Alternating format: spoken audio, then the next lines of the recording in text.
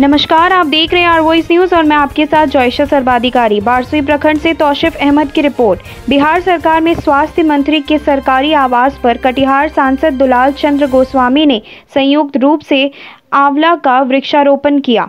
बिहार के स्वास्थ्य मंत्री मंगल पांडे एवं कटिहार के सांसद दुलाल चंद्र गोस्वामी ने संयुक्त रूप से स्वास्थ्य मंत्री आवास पटना में आंवला का वृक्षारोपण किया। स्वास्थ्य मंत्री मंगल पांडे ने कहा कि हम सबों को एक पेड़ लगाना चाहिए, तभी हमारे देश में हरियाली ही हरियाली नज़र आएगी। हम सबों का दायित्व बनता है कि अपने घरों के सामने एक पेड़ लगाए, जिससे शुद्ध हवा लोगों तक पहुँचे। वहीं सांसद दुलाल चंद्र गोस्वामी ने वृक्षारोपण के उपरांत कहा कि वृक्षारोपण से सभी लोगों को फ़ायदा है, शुद्ध हवा एवं बीमारियों से बचाता है। इसलिए हम सबों को कम से कम एक पेड़ अपने घरों के इर्द गिर्द लगानी चाहिए।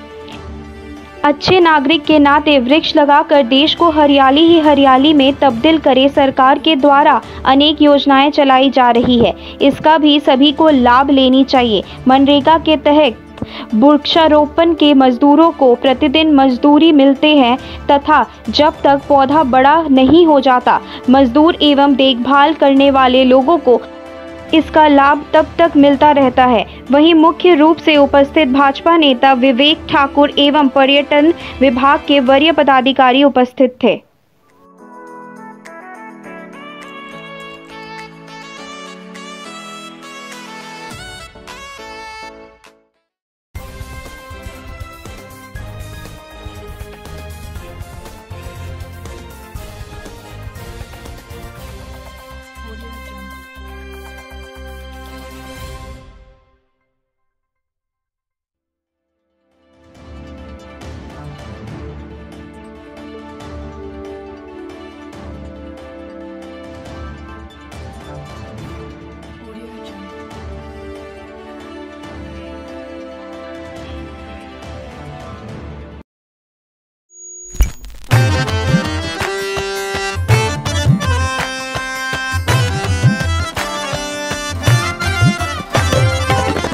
क्या दिखाए ये खिड़की?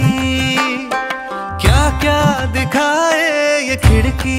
ओ जज्बे है जितने दिखते तुझी में है मायने की खिड़की।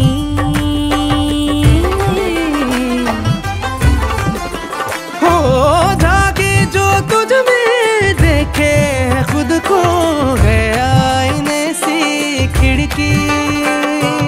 क्या क्या दिखाए ये खिड़की? क्या क्या दिखाए